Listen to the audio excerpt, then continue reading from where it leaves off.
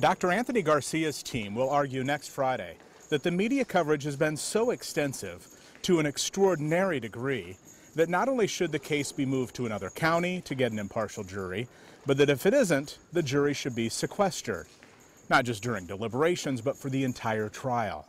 Garcia's Chicago attorneys say the local media coverage has been hostile, prejudiced, and constant.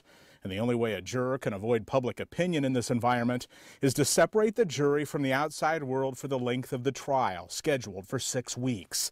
It's something rarely done here. Most lawyers don't want to do that because they don't want the jurors locked up because they wouldn't like to be treated like that. So you have a right to sequester the juries, but it's seldom used. The courts did rule this week on a technique used by Omaha police to track Dr. Anthony Garcia in the two weeks before his arrest. They would ping his cell phone to find its location every half hour or so in July of 2013.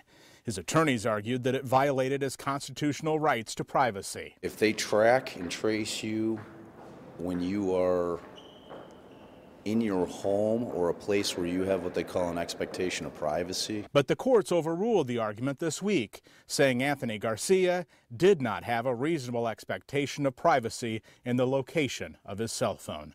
The quadruple murder trial is scheduled for mid September. I'm Brian Mastre reporting, WOWT 6 News. These are just some of the motions before the court. Coming up in May, the judge will hear arguments about why the defense believes there should be two separate trials, one for the Dundee murders back in 2008 and one for the Brumback homicides just five years later.